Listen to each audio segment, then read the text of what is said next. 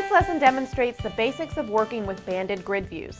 I'll show you how to add and delete bands, customize band settings, and change the layout of bands and columns. First, let's change the view type from grid view to advanced banded grid view.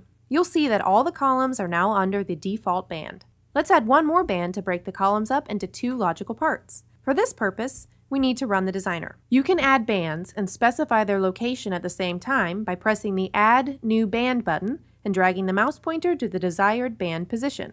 After you've added the band, you can click its header to access the band settings. In this example, we can use this feature to change the band caption. To rearrange columns between bands, I simply drag the desired columns and drop them where they're needed. Now I'm done with the layout customizations, so I'll close the designer. The columns and bands layout can also be customized right on the form.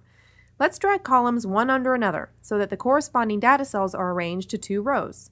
Let's now make the grid a little bit more readable by stretching the columns to fit the entire view. The columns auto width view option needs to be set to true for this particular purpose. Now we need to make the column headers in the second band occupy two rows. To do this, we simply click the column headers.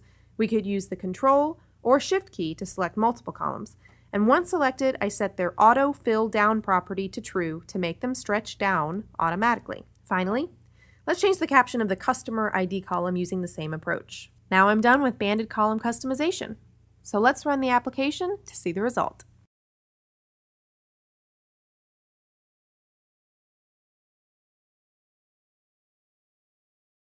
Thanks for watching, and of course, thank you for choosing DevExpress.